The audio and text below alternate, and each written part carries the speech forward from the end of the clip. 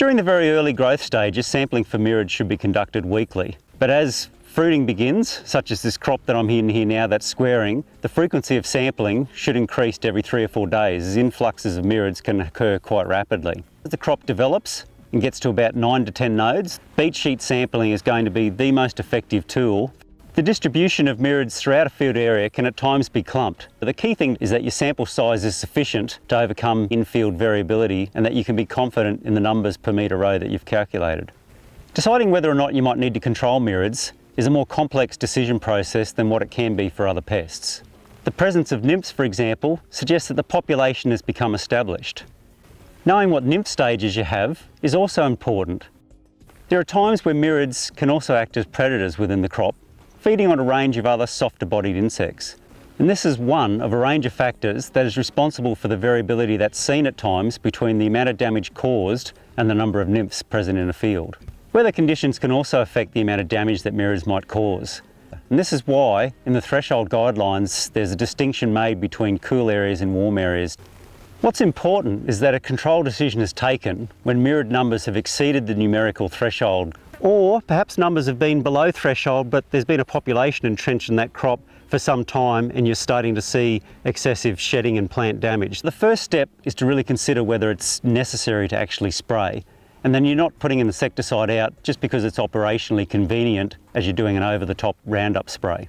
Take into account what you're finding on a beat sheet and also look at the crop to get clues as to how mirids are interacting with the crop in terms of damage potential. There's a range of natural enemies that will feed on mirids in the field, although none of them are specialist feeders on mirids.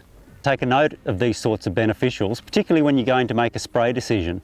Not only the beneficials for mirids, but beneficials for other pest species that might be present in the field. If your sampling and crop damage warrant the use of an insecticide, it's important to consider the different options that are available. A cheaper, more broad spectrum option might seem like a cost saving at the start of the season, but if it results in the flaring of mites and whitefly towards the end of the season, it can end up costing you more money than a more selective but more expensive option early season. The use of reduced rates, particularly for some of the broad spectrum insecticide options, and the addition of salt, has been a popular option for reducing the impact on beneficial insects after an insecticide treatment's been made.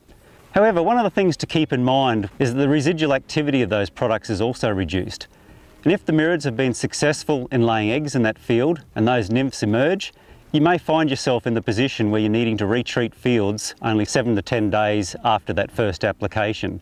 The successful management on this pest really does depend on taking an integrated approach so that we not only manage mirids successfully in the crop, but that our management of this particular pest doesn't interfere with the management of the other important pests within the system. To assist you in making those decisions, refer to the Cotton Pest Management Guidelines where you'll find good information on mirids, samplings, thresholds, as well as the impacts of various insecticides on natural enemies.